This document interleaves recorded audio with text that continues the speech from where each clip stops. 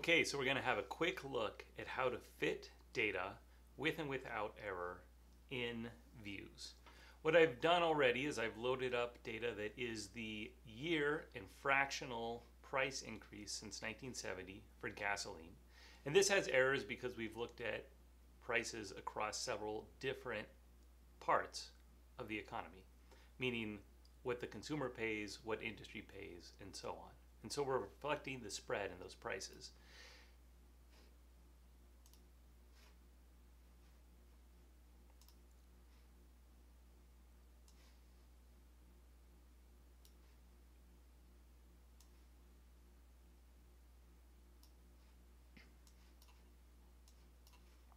And this is what that data looks like. So we just have year, fractional price increase relative to 1970, and then the error associated with that measurement here.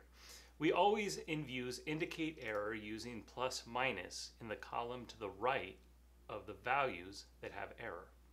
And so if I go back and look at the Veusz file, we see that we have the error associated with that price.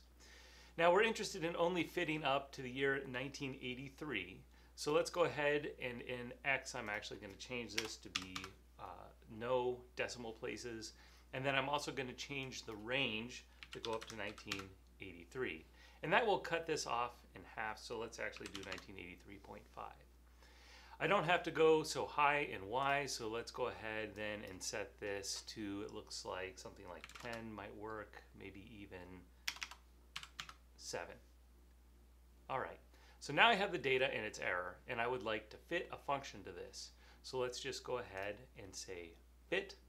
I want this function to be an exponential, so a times exp tau times, and since we're starting at 1970, let's do x minus 1970, and then plus a constant c. Then I need to give those parameter names down here. So let's start with A equals 1, tau equals 1, and C equals 0, just as a guess. And if I click here, you'll see that the guess isn't great, but it's actually probably good enough for Veusz to work. Now, there's a few more things I need to do. Before I point to the data, let's think about how am I going to get this to only fit through 1983? Well, there's two ways to do it. Actually, three. One is to go into the data and then in the data go ahead and make a new column that just runs to 1983 and then import that and fit it. But there's actually other ways to do it in Veusz. So one way we could do this is to go down and say the min fit range is auto, so as low as we want to go, and put in 1983 as the max fit range. That would work, and we've already seen that once in this course, so let's see a different way to do it. One is to just check this button here, fit only range. And by range, it means the x-axis. So we're only going to fit the data that spans the values we have for the x-axis, which, as we just changed this to 1983, will be this range.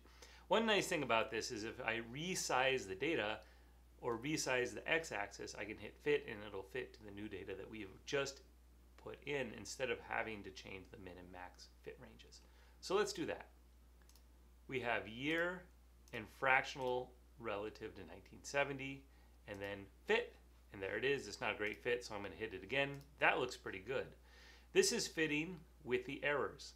The other thing that we might do is fit without the errors. So let's just say with errors how do we get without errors? There's no easy way to do it inside of Veusz although it can be done. And so I think the better thing to do is to go back to our data and just copy and paste this We'll say, just for ease, without errors. You can call it whatever you want, but I'm just going to say without errors. Then without errors doesn't really mean zero.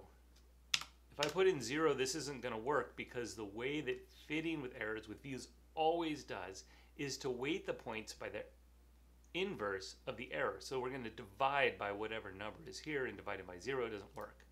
So this could be anything, 1.1, it just, it really doesn't matter. But they all need to be the same so that they're all weighted exactly the same. So instead of without errors, we could also say consistent errors. And that's also a fine name if it helps us keep track of what's going on.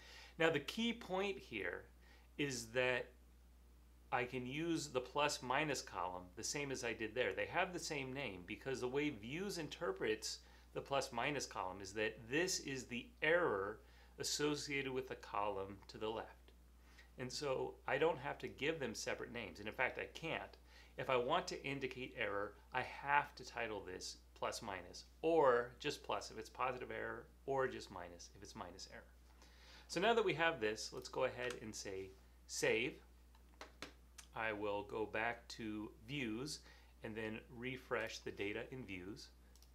Now I should have access to a new set of data here called consistent errors.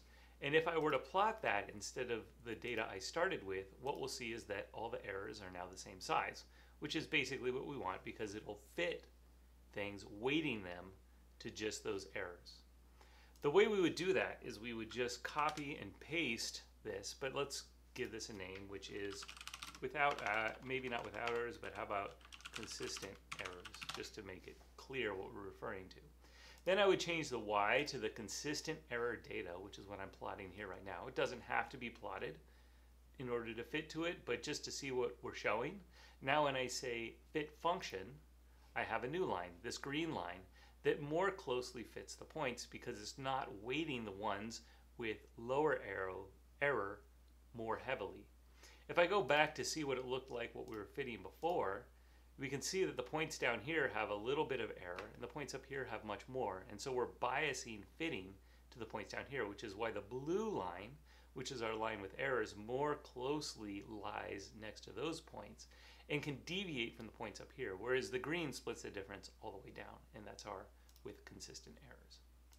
And so that's the easiest way to handle fitting with the error bars being different and with them not being different so that we don't weigh the points separately.